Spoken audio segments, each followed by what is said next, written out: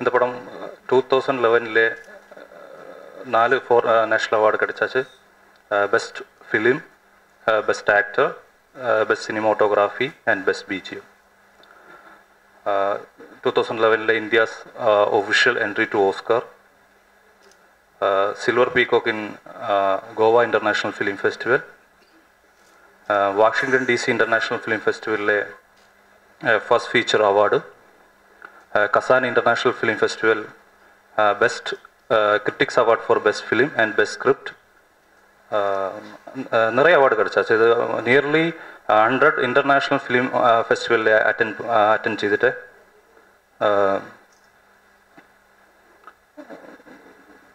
ഇത് കേരളാവിൽ നാല് സ്റ്റേറ്റ് അവാർഡ് കിടച്ചിടിച്ചത് അത് best actor best script best cinematography and best BGM இந்த படம் பார்த்துட்டு ஏதாவது ஏதாவது கேள்வி என்னன்னா ஏதாவது கொஸ்ட்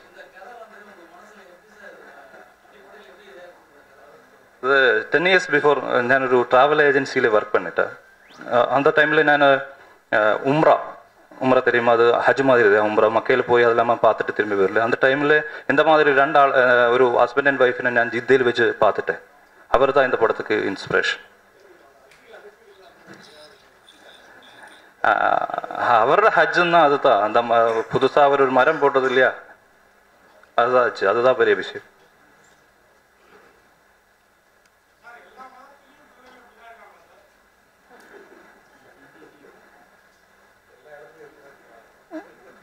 இந்த படம் பார்த்துட்டு நிறைய ஆளுகள் இந்த மாதிரி சத்தார் இல்லையா அவர் குழந்தை. அது மாதிரி நிறைய ஆளுகள் என்னை ஃபோனில் கூப்பிட்டாரு.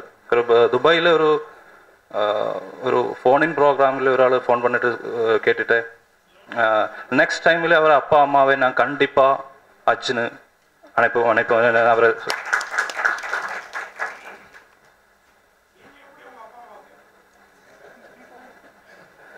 இந்த கேரக்டருக்கு அதாவது இந்த இவரோட நிறைய ஆளுங்க சொல்லிட்டு அவரோட ஒரு அட்டாச்மெண்ட் அவரோட ஒரு லவ்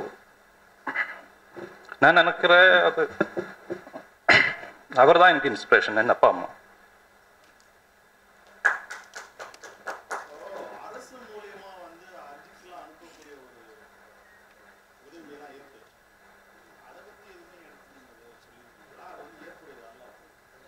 அரசு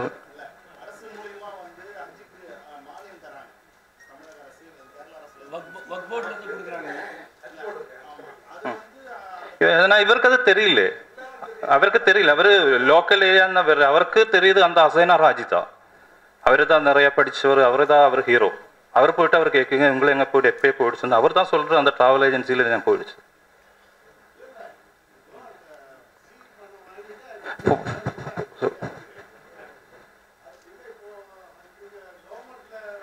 இது கவர்மெண்ட்ல பண்றது என்னன்னா ஃப்ரீ அல்ல அவர் எனக்கு கொஸ்டின் எனக்கு தெரிஞ்சது ഇല്ല அது ഈ இது சப்சிடி என்னன்னா അവർക്ക് இப்போ ஒரு நிறைய ஒரு ஃப்ளைட்ல hundred six hundred seven hundred passengers போகணும்னா அதுக்கு தான் சப்சிடி அரசாங்கமும் அனுப்புறாங்க பிரைவேட்டும் அனுப்புறாங்க. நல்ல புரியணும். அரசாங்கத்தில் கொஞ்சம் பணம் கம்மியாக இருக்குது அவ்வளோதான் ஒரு சின்ன பர்சன்டேஜ் கம்மியாக வரும் இப்போ இன்னைக்கு தேதிக்கு அரசாங்கத்து மூலமாக நீங்கள் போகணுன்னா ஒன்றே முக்கால் லட்ச ரூபா ஒன்றே முக்கால் லட்ச ரூபா ஆகுது. ஒன்றரை லட்ச ரூபா அந்த மாதிரி ஆகுது. ஒரு ஸ்லாப் வச்சுருக்காங்க ஒன்றரை லட்ச ரூபா அந்த மாதிரி. தெரிஞ்சுக்கணுன்றக்காக சொல்கிறேன் ப்ரைவேட்டில் போனால் கொஞ்சம் வசதி வாய்ப்புகள் அதிகமாக இருக்கும்.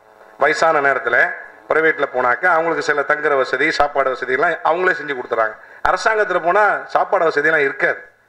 வெறும் போக்குவரத்து இடம் தான் கொடுப்பாங்க. ப்ரைவேட்டில் போனால் தான் அதுக்காக வேண்டி தான் டேரக்டர் அப்படி ப்ரைவேட்டில் அனுப்புறதுக்கு பண்ணியிருக்கிறாரு நான் நம்புவேன். ரெண்டாவது ப்ரைவேட்டில் போகிறதுல என்னென்னா பணங்கள் கொஞ்சம் மெதுவாக கொடுத்துக்கலாம். அப்படியெல்லாம் சில இதெல்லாம் இருக்குது அரசாங்கத்தில் அப்படி இல்லை. மொத்தமே ஆயிரம் அப்ளிகேஷன் வந்தால் இரநூறு பேர் தான் அனுப்புவாங்க. எல்லாத்துக்கும் கிடையாது மூணு வருஷத்துக்கு ஒரு தடவை தான் அதுவும் மூணு வருஷத்துக்கு போட்டு மூணாவது வருஷம் வரலாம் நாலாவது வருஷம் அவங்க கொடுப்பாங்க அது பெரிய அளவில் குழுக்கள் நடக்குது அவர் பெரிய ஹஜ் கமிட்டி இந்தியா லெவலில் நடக்குது அவர் பெரிய மினிஸ்ட்ரி ப்ரைவேட்டில் அந்த வயசில் உள்ளவங்க இப்போ அவர் எடுத்திருக்கிற அந்த வயசு வந்து வயசானவங்க ப்ரைவேட்டில் தான் போக முடியும் இல்லைன்னா சாப்பாடு செய்யறதுக்குலாம் ஆளுங்க எல்லாம் வசதி இருக்காது அந்த வகையில் அவர் எடுத்திருப்பாரு நான் நம்புகிறேன் அந்த ட்ராவல் ஏஜென்சி சீலில் அவர் முஸ்லீம் தான் அந்த மேனேஜர் அந்த பணம் அவர் அவர் அதுவும் சீக்கிரிக்கல ஏன்னா ஹஜ் பண்ணோம்னா அவரு தான் சொந்த காசு தான் வேணும். அது வந்துங்க இன்னும் சொல்ல போனா ஹஜ்ஜை பொறுத்த வரைக்கும் ஹஜ்ஜை பொறுத்த வரைக்கும் ஐந்தாவது கடமை. அந்த கடமையை வந்து யாருக்கெல்லாம் முடியுதோ அவங்க தான் நிறைவேற்றணும்.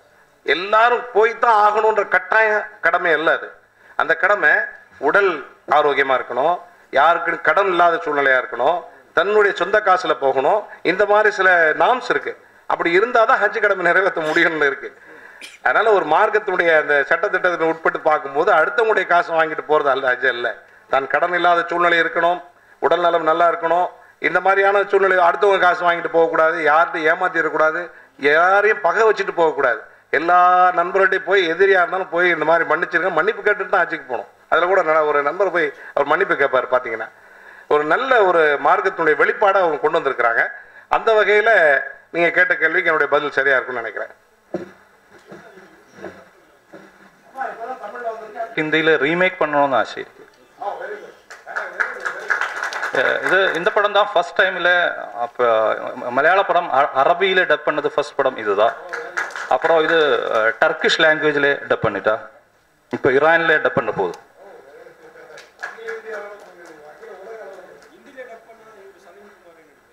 இல்லை ഞാൻ ഹിന്ദിയിൽ റീമേക്ക് பண்ணணும்னு நினைக்கிறேன் அல்ல அது வேற ஆர்டிஸ்ட் ஹிந்தி ஆர்டிஸ்ட் வச்சு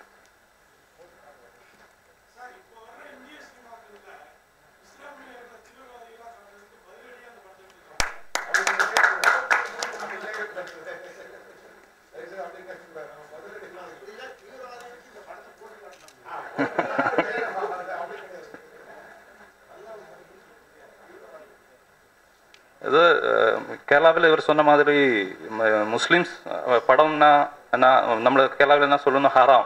படம் பார்க்க முடியல படம் பார்க்கக்கூடாதுன்னு சொல்கிறேன் அப்புறம் இன்னும் ஊரில் ஒரு ஆள் இந்த படம் பார்த்துட்டு அவர் ஒரு ஃபர்னிச்சர் பிஸ்னஸ் செய்யணும் ஆள் அவர் இப்போ படம் பார்த்து வந்துட்டு அவர் அவர்கிட்ட அம்மாகிட்ட சொல்லு. நீ நான் இந்த மாதிரி பிஸ்னஸ் ஒன்றும் ஞான் செய்யல. எல்லாம் கரெக்டாக பிஸ்னஸ்னா இனி முதல்ல ஞான் செய்ய சொல்லிட்டு. அப்போ அவர் அம்மா கேட்டுட்டே இந்த மாதிரி டிசைட் பண்ணிட்டு இந்த படம் பார்த்துட்டு அப்புறம் நான் டிசைட் அப்போ அம்மா என்ன கேட்டேன்னா പടം പാത്ത ആളുകൾ നന്നാകുമോ എന്നല്ലേ സിനിമ പാത്തിട്ട് ആളുകൾ ഇന്ത മാതിരി ഡിസിഷൻ എടുക്കുമോ എന്ന് അവർ കേട്ടിട്ട്